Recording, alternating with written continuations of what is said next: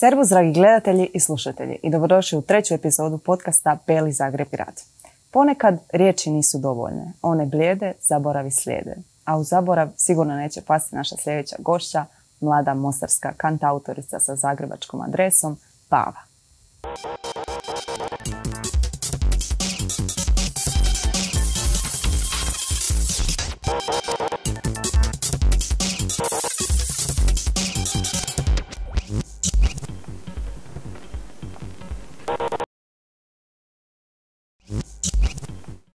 Pava, dobrodošla.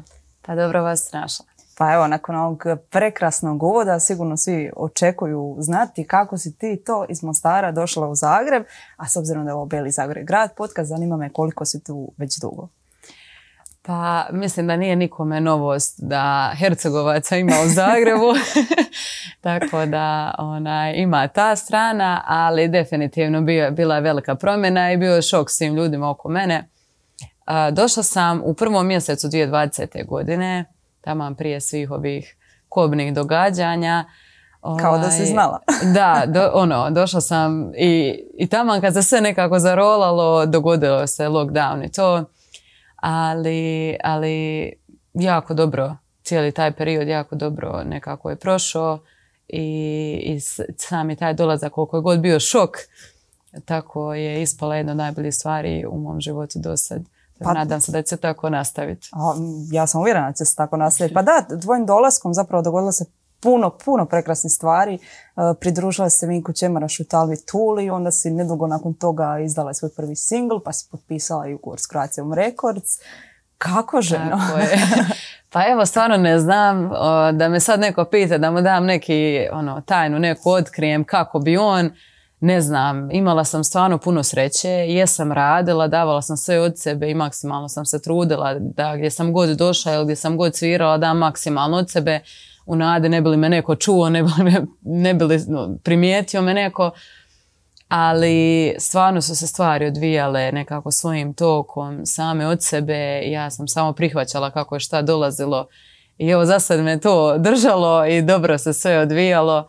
Onaj... To je kao ono kad, kad želiš da sve ispadne u, u najbolje mogućoj, u najbolje mogućoj situaciji, na kraju se dogodi ono niz nesretnih događaja i onda se sve obrne, ali onda kad pustiš da se stvari odvijaju, nekako kao da se krene slagati se, se, upravo to. A sigurno se nije jednostavno odjednom napuniti sve svoje kofere, odlučiti ja sutra idem za Zagreb i to je to. E, I znam i po sebi, ono, i još si došao u novi grad, našla se tako brzo, znala si tek nekoliko ljudi i ono, slična nas tako neka priča veže. E, isto su, svi su me pitali, pa dobro, kako si se ti tako snašla, sad je to odjednom, mm nakon nekih pet godina i Beli Zagreb grad. E, zapravo, to je krenulo dosta brzo samim dolaskom. Mhm. Uh, jesi li se u nekom trenutku, jesi razmišljala, pa bože što ja tu radim, naš, želim se vratiti no, kući? Naravno, mislim, to je ono neupitno. sada kad gledam na to, iako mi sad dođe nekad ono šta ja radim sa svojim životom, mogla sam ostati na faksu za poslice normalno. Onaj, ali tada kad sam došla, sad mi to zvuči smiješno jer ono, došla sam u Zagreb iz Mostara, nisam odšla na drugi kraj svijeta ali opet u tom trenutku meni je to bilo jako daleko od kuće i stvarno jako malo ljudi u Zagrebu sam tada i znala. Kad sam došla, tako da sam nekako stvarno sama došla i morala sam sama skontati stvari. I znam da bi ono, našla bi se u tramvaju gdje valjda sve emocije su najjače u tramvaju, ja ne znam je to drugim ljudima. Ali samo bi se vraćala kući i tolika me anksioznost uzela, ono, sad moram to, sad moram ovo, gdje sam, šta, šta, sam, šta nisam uradila, kako ono, samo te sve, sve neke stvari koje ne možeš odmah skontati i odraditi, preplave te odjednom jer znaš da... si, emocija te Da, sam si o sebi tu. Ali onda s vremenom to prođe, izboriš se sam sa sobom, onda polako vidiš da sjedaju stvari na mjesto i nekako prođe se. Sad više to, to se ne događa. vratimo se u tvoj prekrasan kraj. Znači, dolaziš iz Mostara, iz jedne obitelji koja zapravo nije toliko glazbena, ali ste ti i tvoje sestre i brat napravili tu jednu veliku promjenu. znači, kako to uvijek pričamo o, o talentu, o vještinama, o, trudu, radu i uvijek to nekako dovodimo ono, ne znam, talent je, šta znam, kako ono kažu, 20%, 80% je rad. pa evo iz tvoje situacije, znači vi ste samo odjednom, znači nitko prije vas, tebe i tvojih je braća i sestara, nije, nije bio glazbenik. Kako ste se onda vi ovaj, dogodili? pa ja stvarno ne znam, osim sigurno mogu zasluge dati svoje mame i tati koji su Znači, stvarno izvrsni roditelji koji su se toliko s nama trudili u djetinstvu. Ja mogu ono, sigurno reći da imam predobro djetinstvo. Mogla sam svašta isprobati, svašta smo radili. Jako puno se učilo s nama. Nismo gledali televiziju, nego smo uvijek ili kuhali ili kopali ili vas da je bilo neka aktivnost. Tako da su stvarno bili posvećeni i jedna od tih stvari koje su nam ono, otvorili širom vrata bila je glazbena škola što se pokazalo kao pun pogodak. Ovaj, zapravo oni su mog brata koji je najstariji bili upisali na tečaj klavira synthesizera. Mala sestra to I, da, i onda je sestra, mlađa od njega, najstarija sestra, uz njega kao gledala tamo vam, na kraju bila bolja od njega i prije to skontala, uopće nije išla na sate. I taman je tada ona bila u godinama da se upiše u glazbenu školu, i onda je mama odlučila da, da upišu nju u glazbenu školu i sada kad gledam iz ove perspektive vidim koliko je to ludo, ali predobro što su oni odmah kupili pijanino. Znači odmah su joj dali klavir i što nije bilo malo, ono, to je puno para i za to vrijeme i za sada i ono, ali to se ispostavilo kao super korak jer je moja sestra završila i osnovnu i srednju i na kraju akademiju, sad je profesorica klavira a onda je druga sestra je sjedila tim putem, završila osnovnu školu, osnovnu glazbenu školu za klavir i ja sam isto upisala osnovnu, završila i osnovnu i srednju. I evo nisam prošla na, o, ne prošla, nisam ne prijavljivala, ali nisam otišla na akademiju, ali sam se nastavila baviti glazbom u nekom drugom obliku. Prato. Uh, moram te to pitati, kako je bilo vašim susjedima? pa, znaš šta, nije im bilo lako, ali nismo nikad dobili pritužbu, tako da valjda im je bilo, i dobro. tijekom svog i djetinstva i rane mladosti sudjelovala si u brojnim zborovima, kasnije i na fakultetu, ali između ostalog vodila si i neke crkvene zborove. Da. Kako je to izgledalo? pa crkveni zborovi, općenito crkvene zajednice, mislim da su super prilika da mladi ljudi probaju kao okušaju se u tim nekim stvarima. Meni je uvijek bilo najbliža glazba pa mogu najviše o tome govoriti. Nekako je uvijek dobra atmosfera, znaš da su dobri ljudi oko tebe, niko se neće rugat, niko te neće ne znam šta, možeš se opustiti i povežeš se s ljudima svoje godište, uvijek je tu zezancija, a opet upoznaš se ne bi ja rekla s javnim nastupima, jer ja nikad na mise nisam gledala kao na javne nastupe, ali opet je vrsta, je, vrsta javnog nastupa. I meni je to nekako bila prva, prvo iskustvo sa pjevanjem pred većim brojem ljudi. I onda sam prvo pjevala u zborovima, samo da sam u zboru, onda sam pratila, ako repetirala zborove i onda je došlo do toga u srednjoj školi da sam odlučila početi voditi mladi, zbor mladih. I to je baš ispalo super iskustvo. Em što sam se povezala s tim ljudima i dan danas su mi jako dragi, čujemo se. Drugo, naučila sam svašta nešto, proširila sam svoje neke vidike, ono, morala sam raditi druge stvari. Organizirati to, kako šta, raspisivati note, ovo ono. A, a treće, dok kad god radiš s ljudima, koliko god ja sam njih tu učila i vodila, toliko su oni mene. Tako, ono, različite stvari mi pokazali, različite pristupe, tako da baš jedno lijepo iskustvo. Lijepo, jako lijepo. Kad smo već kod te teme, uvijek me nekako zanimalo što se tiče same te nekakve duhovne glazbe, da je tako ukalupim. Tvoje neko razmišljanje općenito o njezinom izlasku na van, odnosno slušanosti kroz različite etere, s tim da tu ne podrazumijem Radomeru i slično, ali zbog čega ona nije zastupljenija u društvu kada to dovedemo u neku svezu, šta znam, sa, sa modernom glazbom koja često progovara i o varanju žene, varanju muževa, prostituciji, no. pištoljima, možemo mi sad tu nabrajati nadogled, ali gdje je nastao taj jaz u kojem a pod pretpostavkom, to jest ne nego je činjenica jednostavno da tu glazbu sluša velik, velik broj ljudi i postoje razno razni koncerti koje doslovno napune čitavu arenu. I gdje se to zagubilo u nekakvom javnom prostoru? Pa, uh, Odnosno, prvo ću reći da se slažem s tim. Mislim da duhovna glazba ima ogromnu publiku u Hrvatskoj koje ljudi koji slušaju tu glazbu nisu svjesni koliko zapravo imaju ljudi koji slušaju istu glazbu kao oni. Meni je jako žao što ona nema dovoljno prostora u eteru koliko bi mogla imati s obzirom na slušanost. Problem je, ne znam ja reći gdje jer nisam u tim krugovima, niti znam, ali mislim da jednostavno nije, uh, ne, vjerovatno ne donosi toliko zarade koliko donosi mhm. druga vrsta glazbe zbog koje se ta glazba pušta, ova ne. Znači ta glazba je u, u smislu, ono, u biti nje je slavljanje Boga, i uvijek nastaje, većinom je ljudi rade iz svoje drage volje, najčešće nemaju nikakvu ni zaradu od toga i nekako ne znam, ne znam ti točan odgovor na to pitanje, mislim da znamo točan odgovor da, bi se to i riješilo, ali negdje šteka. A misliš da je problem u tome što, je, što i percipiram, odnosno što sam ja sama sad kada sam te pitala ukalupila pod duhovnu glazbu, jer primjerice, sad moram uzeti za primjer tu, na primjer Đuru, uh, čije su pjesme, ja da ne znam o čemu se radi, ja bih rekla to je ljubavna pjesma. Sto posto. Da. Da ne znam o čemu se radi. Pa znaš šta, to sigurno ima, ali šta znači duhovna glazba? Zar nije svaka glazba koja te dira duhovna glazba? Mislim, neko se može, ajmo to tako reći, iako ne volim možda taj izraz izliječiti preko neke druge pjesme, ono nebitno čije, ako njemu u tom trenutku ta pjesma potrebna zbog onoga što prolazi u svom životu. Tako da je meni to malo, ja bih rekla više kao da je to nije ni euharistijska jer se te pjesme ne puštaju, mhm. najčešće to su a ne znam, neke produhovljene pjesme koje zapravo pjevaju o nečem višem i o Bogu.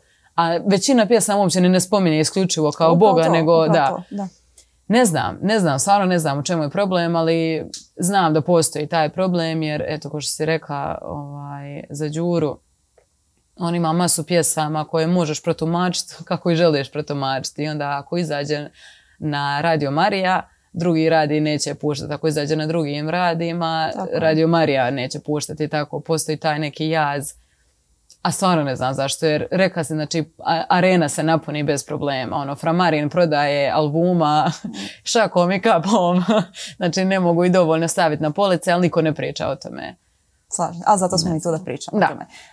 zanima me što općenito misliš o stanju, evo sad si prelaskom svojim u Zagreb, možeš i o stanju na hrvatskoj sceni i možeš naravno i o tome kako je stanje uopće u Mostaru, u Sarajevu. tko tu glavnu priču vodi?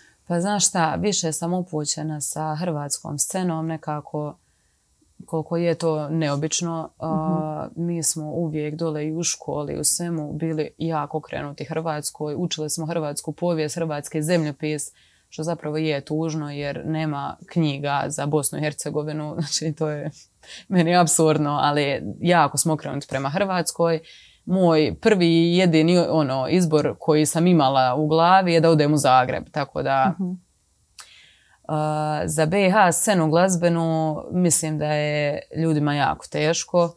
Mladim, pogotovo ko ne želi raditi taj neki možda uh, pop s utjecajem narodne glazbe. Mislim da ovo ostalo slabo prolazi. Tu je sevdah scena i to, to je dosta jako i super.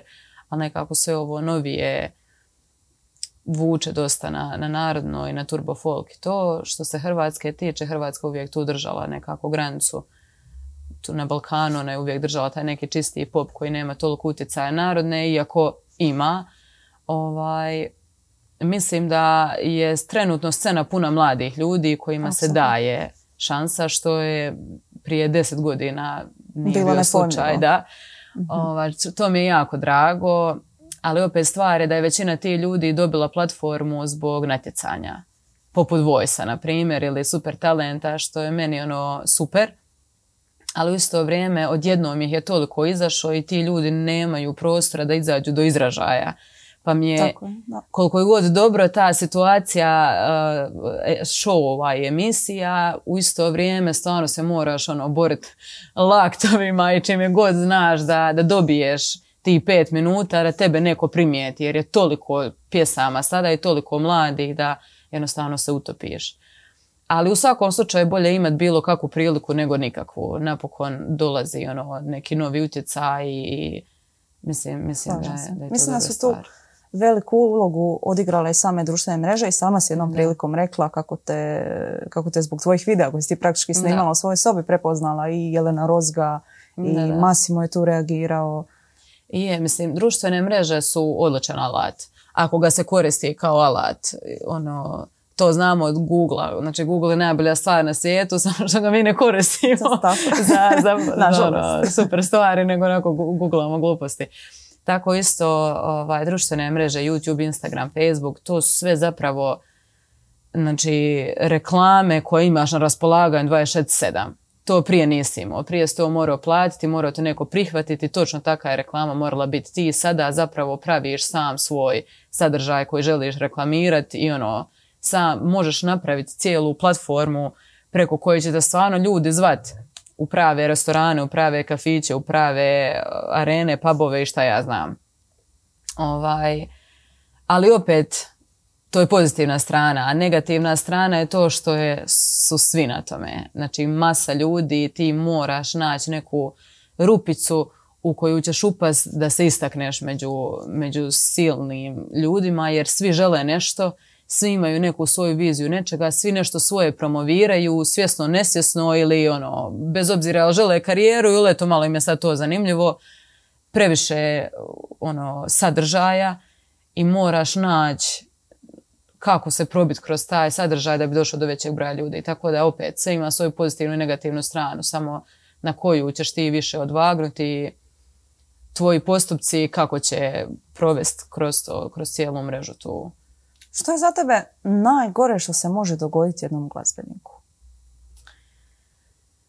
Pa mislim da ima više najgorih stvari za više različitih glazbenika. Mislim da danas na sceni jako puno mladih glazbenika su postali cover izvođači koje nažalost ljudi ne vide kao ništa više nego cover izvođači. Mislim da je to dosta velik problem među, među glazbenicima upravo zbog svih šova koji su odlični ali naš mentalitet nije još navikao da pored toga što čujemo i što nam je serviramo, tražimo dalje o toj mhm. osobi, tražimo naš to.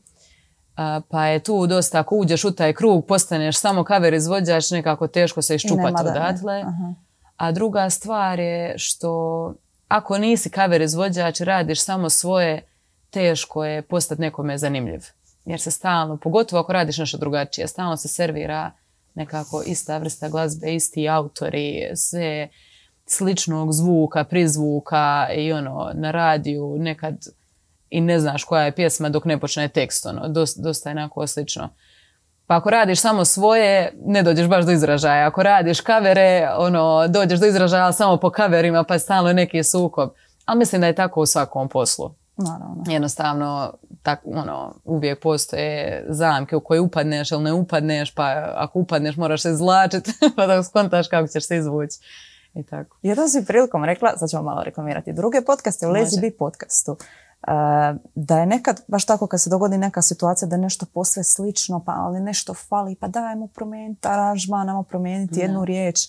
Uh, prilikom kreiranja ponekad tog prvog singla, kako se odvija taj cijeli proces? Jednom prilikom ti zapravo je rekla da je ta pjesma došla ono, odjednom. Da. Došla je gotova. Znači, što je stvarno ono, malo glupo pričati jer ono, nema šta je ispričat. Ali stvarno je došla takva kakva, kako je vi sad čujete, takva je ona meni došla. Samo što aranžman nije bio ono gotov, ali sam ja čula stvari koje želim u glavi. Naravno, Đuro je to doradio, neke stvari promijenio nabolje i ja sam je prihvatila. Ali pjesma ko pjesma, strofa, refren, sve to je došlo gotovo. Jedna od rijetkih koja se tako dogodila i ono u 10 minuta bilo je sve gotovo da kroz dvije godine koliko je prošlo od nje ja nisam uopće imala potrebu ništa ni promijeniti ni tako da to je stvarno rijetko, ali evo mogu reći da pjesma koja izlazi u brzo, gotova je, trenutno je u, u montaži. Na primjer, s je druga priča. Ona je nastala, prvo je nastala strofa refren i onda druga strofa je bila glupa, pa sam to mijenjala, pa sam promijenila aranžman, pa sam izbacila drugu strofu, pa ćemo ponoviti ovaj dio i tako. Na kraju na snimanju mi smo sve snimili, smo cijelu pjesmu, da smo pa gdje bi koji dio, isto smo puzlu radili dok nam nije sjelo, aha, ok, to je aranžman, dobar, s tim sam zadovoljna. uvijek je to, ja mislim, drugačije, barem kod mene. Nekad, nekad pesma kao, kao da mora odležati upravo to. Ili napraviš dobar tekst ili napraviš dobar glas, uvijek se nešto događa. Uh, na tu temu, Postoji li onda ikakav recept za ono ultimativni hit? Znači napraviš pjesmu sad koja će slušati kroz 20, kroz 30 godina. Možeš, možeš nam dati neki primjer, ono, pjesma koja je dobra danas, hmm. koja će valjda biti dobra i za 50 godina. Ono, služit će pravu? Mislim, ne, nemam hit takav, pa ne mogu govoriti iz iskustva, ali volim slušati o tome, pogotovo na, na stranoj sceni ono, ljudi poput onoga Farela ili Ed Sheerana ili ne znam, brojni, kako oni pristupaju tome. I oni uvijek govore da ne znaš hoće li pjesma biti hit. Ima formu da pjesma bude dobra. Postoje ljudi koji stalno pišu slične pjesme i stalno pjesme te uspijevaju jer naše su nešto što ljudi vole i to je ono, to često govore za huljće, ali čovjek je našo šta pali i on se drži toga, pametan čovjek, ono, drži se toga, pravi glazbu koju ljudi žele slušati, zarađuje, to je posao. Ali tako neki, da bude neki bum odjednom, mislim da to ne možeš znati. Ti možeš vjerovati da će to biti tako, ali ljudi su nepredvidivi. Ono, ne, ne možete niko garantirati, ja mislim, da će neko, e sad ovo će ostati pjesma koja će promijeniti tijek povijesti, da tako kažem. Ono, Bohemian Rhapsody nisu htjeli staviti na ploču jer traje preko šest minuta, ko će to na radiju, bla bla. I ono pjesma koja je sada godinama nakon i dalje se sluša, i dalje je na radiju, i dalje ljudi ono i dalje klanjaju se kvinu. Ili, na primjer, evo u skorije vrijeme, u, da, skorije, u skorije vrijeme, yeah. uh, Billie Eilish, koja je, znači, u vremenu pop pjesama gdje žene mahom samo vrište visoke note, samo glasnoća, samo raspon, ovo ono. Ona je došla s tim nekim šaputavim pjevanjem, toliko ono nježno, sa jako čudnim tekstom za dijete od 13 godina. Na Soundcloudu su objavili pjesmu i internet eksplodirao i ona je sad najveća, ja mislim, pop zvijezda u Americi. Ko je to mogao garantirati? Ko je to mislio reći dogoditi? Niko, ono. Tako da, mislim da nema neke kao sigurno ti to će ti upaliti, jer da ima, svi bi mi bili. Tako je, hitmakeri. da. to je kao onaj kairos, onaj mali što ga uputiš za čupere, pa, pa, pa je uputiš trenutak sreće. pa mi je na pamet sad, e, moj voljeni, svi znaju koliko često pričam o njemu, Arsen Dedić, koji je jednom prilikom, jednom intervju još tamo 90. za RTV Sloveniju bio jednom prilikom rekao kako on istraživao sve te mlade kantautore i da je u nekom trenutku došao do zaključka da općenito da se dogodi taj neki bum u kojem na prijelazu iz neke 25. u 26. oni naprave hitove koji, mislim hitove, pjesme koji doslovno obilježe za nadolazeća, za desetljeća iduće koje slijede.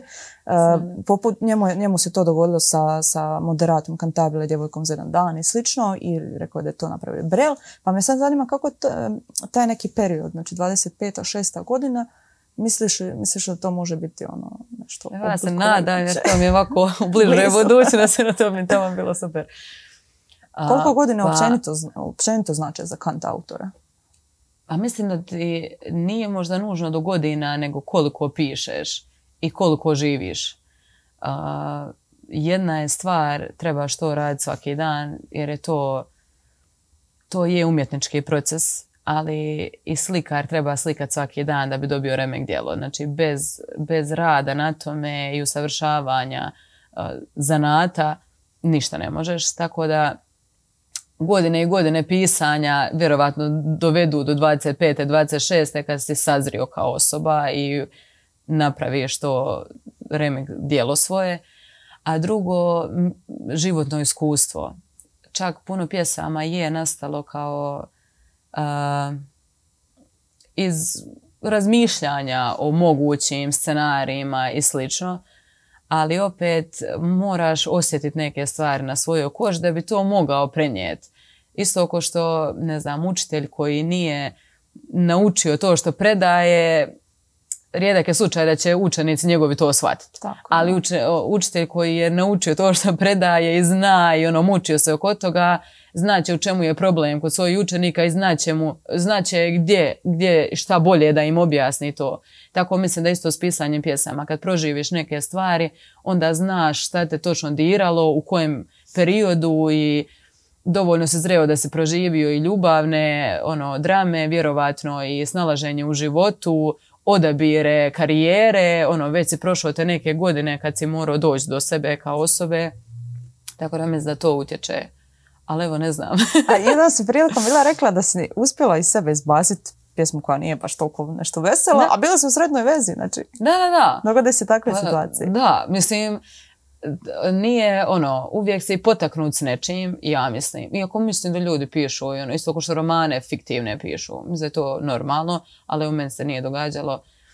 Uvijek imam neku crtu koju sam povukla iz pravog života. Ne mora biti u sadašnjosti, može biti u prošlosti. Ili sam bila potaknuta s nečim što se događa u životu mojih prijatelja ili užoj obitelji i tako nešto i onda na temelju toga, ali ne mora se točno preslikavati na moj život sada, ono.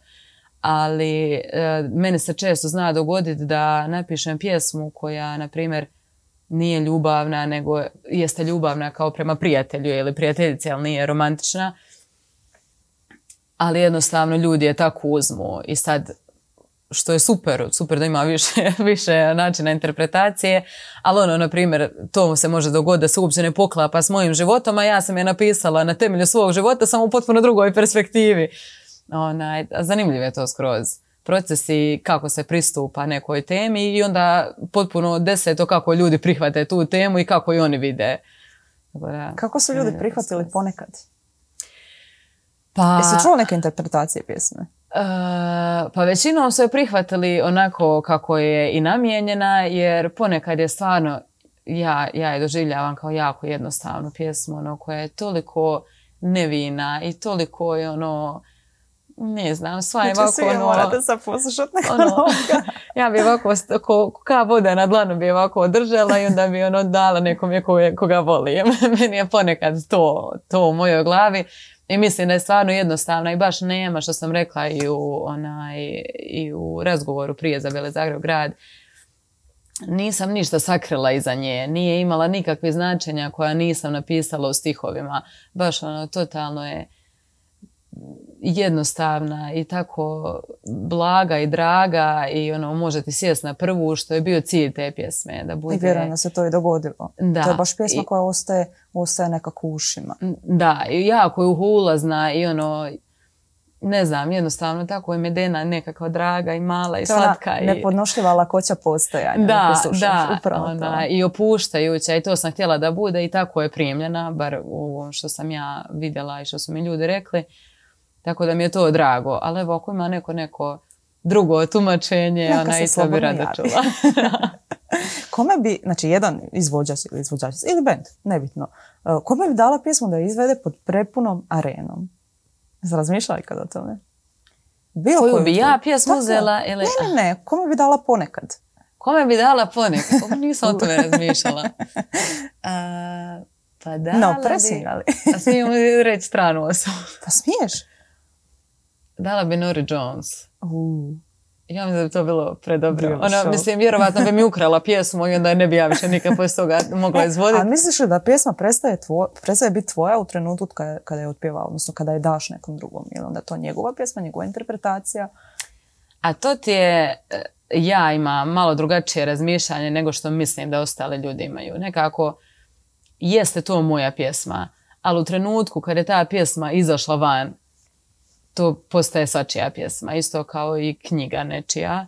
znači, jesi ti to napisao i ti si to namijenio s tom i tom namjerom, to si to ostavio iza i napravio si sav taj posao, ali u trenutku kad ti izdaš tu pjesmu, knjigu vani, to postaje javno dobro. Javno dobro i osoba koja kupi tu knjigu, to je njezino. I ona s tom knjigom može šta god želi, može shvatiti kako god želi, može iščitavati kako god želi i tražiti u njoj šta god želi i jednostavno je tako. mislim da je teško umjetnicima razdvojiti to. Puno, jako puno sebe daš u tu pjesmu jer jednostavno to je tvoj život koji opjevavaš ili pišeš. I onda kad ljudi to uzmu i mijenjaju a ti nisi uopće imao taj, ono, zar se moglo to tako skontat? Da, ono, nisi razmišljao o tome, nisi uopće vidio ta, ta, tu percepciju, utječe na tvoj život, ono, osjećaš atak na sebe. Onaj, ali mislim da nekako uvijek će ostati tvoja pjesma, ali koliko god tvoja i, i svačija je. Tako da, ali koliko god to teško, trebaš se malo odvojiti od nje. Ali ima neka pjesma za koju si ti rekla ovo kao da sam ja napisao? Razmišljala sam o tome i nema, ali ima, često to mislim, kad slušam pjesmu i slušam tekst i onda mi, jo, što se ja nisam sjetila isto kuta napisat nešto, ono, taj, ta percepcija te situacije mi je predobra, ja nikad o njoj nisam tako razmišljala. Onaj, ima pjesma uh, od, od uh, sam je pobjeglo iz glave. Možeš nam je otpjevati, nećemo se ljutiti. A ne znam, sam je skroz pobjegla iz glave. Kako zove onaj što, što ima skroz rasparan glas, mladi Ninko će Nije strani je. iz, gore je, iz Skandinavije, pjeva na engleskom ono blok imam u glavi. Uglavnom, sjetit ću se. Ovo je kao, kao onaj alias, znaš. Da. onaj, on je napisao pjesmu kao na temu uh, hvala te što si joj slomio srce i sad ja mogu biti s njom kao bivšem njezinom momku se zahvaljuje za sve što je uradio jer je nju napravio tako kako ona sad napravio. Ono, utjecao je na njezin život i ona je sad takva kakva je i on nju ne može uopće savršeniju zamisliti, točno je tako voli. I ono, nema Nisam nikad razmislila da zahvalim bivšoj curi svog momka. Ali zapravo to predobra percepcija jer uvijek ono kao ti si njoj slomio srce, ti si ovo, ti si ono. Zapravo da njega ili nje nije bilo, možda ta osoba koja je toliko sad u tvom životu i usrećila te i ti nju, ne bi uopće došla na tvoj put. Tako da sve se događa s razlogom i ono svaki, ta percepcija mi je, ono, taj vid mi je bio pre, predobar. Kogod se sjeti, molimo pisati komentare. Da. Nije James Arthur, neće mi... sad ćete ovo mori do kraja, ali tako? Da. I sad ćeš onda sjetiti kad završimo. u međuvremenu, Uh, u međuvremenu si ti kad si došao u Zagreb, kad si objavila... Jo, prosti, sad me strada, možda nije Skandinavija, možda je Irac. znači, ne znam, totalno sam, ono, a dobro, Moramo te vratiti u fokus. Sjetit ćeš se tu kroz razgovor, slobodno ti mene u trenutku kad se sjetiš Može. vikni. Može. ali dotad mi priča o Croatia Records. E, to je super priča. Ono, neočekivana totalno. Kako se to dogodi? ja stvarno ne znam kako se to dogodi. Evo da, da, da me pitaš sada kako ja mogu dobiti ugovor s Croacijom, ja bih rekla ne znam. Slučajno. ovaj, nekako, ono što sam rekla na početku, stvari se poslože same od sebe, bar su se meni tako posložile. Ja sam rekla, ono, dajem sve od sebe, što se god dogodi ja ću izvući iz toga što ja mogu, što se ne dogodi, a ja sam htjela da se dogodi, Bože moj, ono, dogodit će se nekom drugom prilikom ili se nije trebalo uopće dogoditi, neću žaliti za tim. Kad sam tako počela pristupati životu što stvarno nisam prije, ja sam dosta ono, ako nije po mom, ne valja. ako nije onako kako sam ja zamislila, nije dobro.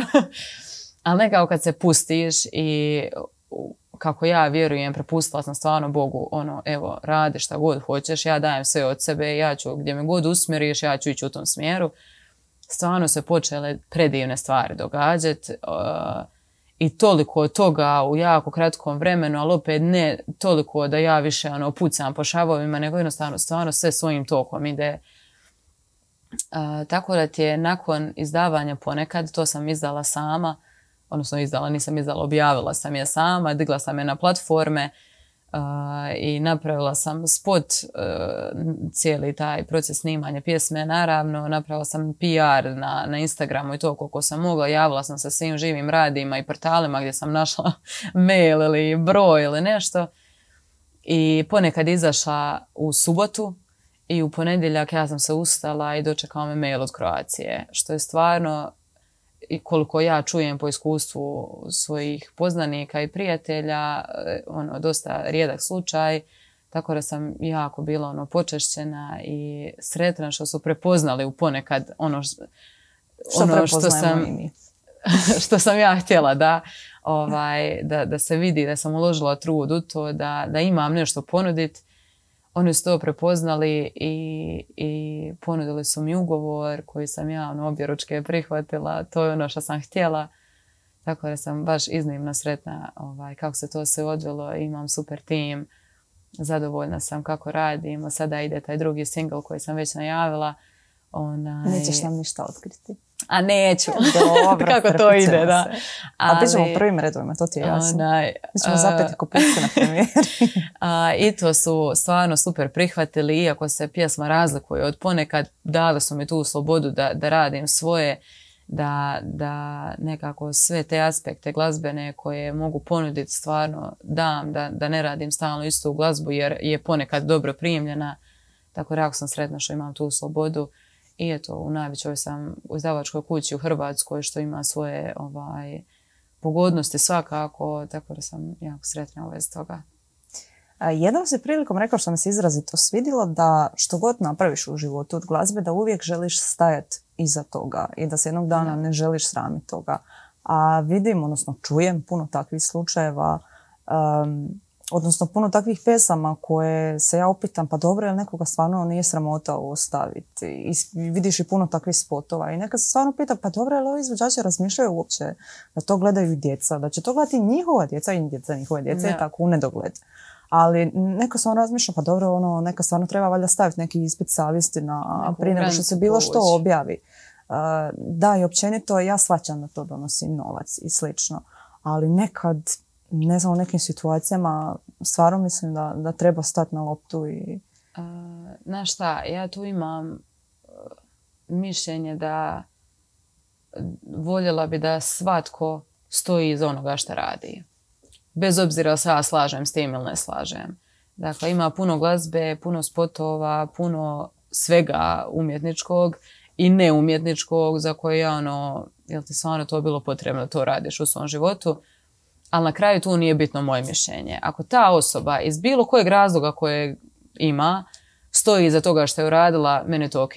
Bili ja to uradila, ne bi. Jer ja mislim da to pridonosi išta društvu, ja mislim da nije. Ali ako ti pronalaziš išta u tome, osim novca, ok, ja ću to prihvatiti.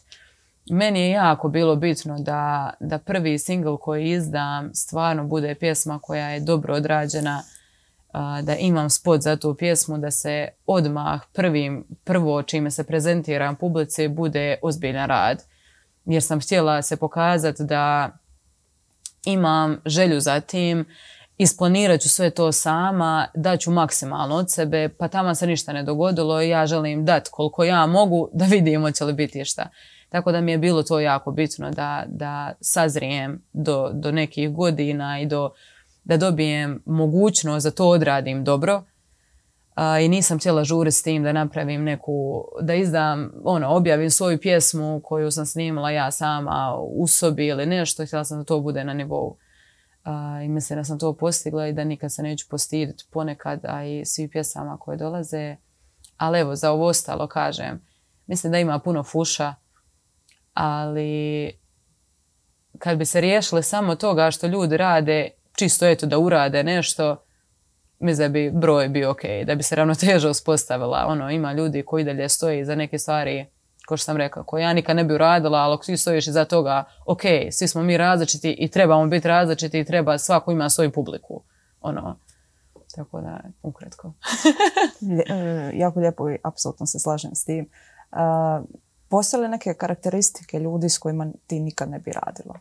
Bilo da se radi ne znam, vlasnicima restorana u kojem organiziraš gaže, bilo da se radi, ne znam, snimate, bilo što. Pa, odnosno bilo tko. Mislim, uvijek moraš raditi kompromise, kao i u svakom odnosu, tako i u poslovnom, pogotovo kad radiš ne s jednim poslodavcem, nego sa 150 njih, neće ti svako odgovarati. Ovaj, ali tu nekako rašlaniš poslovno i osobno, jer kao pjevač ja zapravo sebe prodajem. To zvuči ružno, ali stvarno ono što ja nudim je dio mene. Ne, ne mogu ja pjevat bez sebe tu, da, da nisam ja na bini, da ja sebe ne prezentiram, za, ono, prodaješ sebe. Ovaj, tako da nekad je teško povući granicu između tog poslovnog i osobnog, ali budući da ja gažiram, neke stvari jednostavno moraš pregrijesti i reći ok, trenutno je tako, ja ne mogu sada utjecati na to, ne mogu utjecati na sav izbor pjesama, uvješću deset pjesama koje ne želim pjevati u tom trenutku, ali jednostavno moram da bi tu svirala, da bi mogla mm doći do publike, ok, kad bude mogla birati točno gdje želim, gdje ne želim, onda će to biti drugačije. I, a pored toga ovaj, imaju neke stvari koje mislim da se apsolutno nikad ne bi trebale trpiti. E, i, i na poslovnoj i na osobnoj bazi jednostavno ljudi koji ne cijene tebe kao ni osobu, ni radnika, ni umjetnika, ni ništa.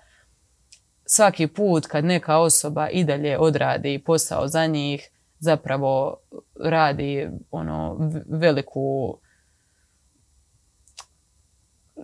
kako ću to reći ne uslugu svima nama ostalim ono, ta osoba kojo, kojoj je napravljen taj posao, a ponašala se grozno prema, prema glazbeniku, je samo dobila ono, ok, mogu takav biti prema, prema svima. Drugima. Dakle, mm treba se povući granica s kojim ljudima radiš, hoće li ti neko, ono, zabiju te tamo neđe u kut, tamo stani, ono, možete uzeti, dok mm samo budi tu da te vide, te stvari, a ono, situraš, eto, gledaš gdje, kako, šta, trudiš se da to nekako dižeš svakom svirkom, na neki veći nivo. I svakako ljudi koji jednostavno moraju biti ono, ako ti je neugodno s njima, rijetko, ono, teško da ćeš raditi s njima. Energiju, da. pješi. Da, da. Ono. On ako osjećaš lošu energiju, da. pješi. Uh, ali zato je bilo puno dobrih svirki ovo ljeto uh, i trenutno te možemo slušati u nek na nekoliko čak lokacija u Zagrebu. Ovaj, eto, ja opet kažem, imala sam sreće.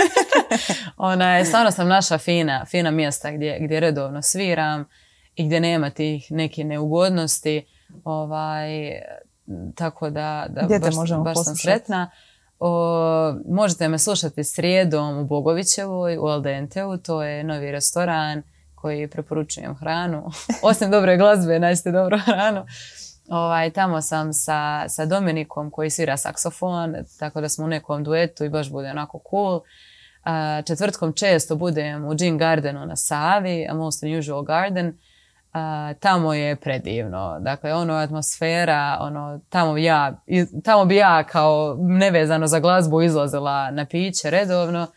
A petkom sam u Come to Mama, ovaj, mislim da to spada u Vrbane, ako se ne varam, nisam još sa zagrebačkim Lako, kvartovima. Trebalo ime pa Ali tamo je odlična pizza i baš onako domaća atmosfera, obiteljska i, i skroz, skroz je lijepo, bude divna atmosfera pet. O, ti bukirati jedan termin. znači, srijeda, četvrtak, petak, jesmo upamtili, super.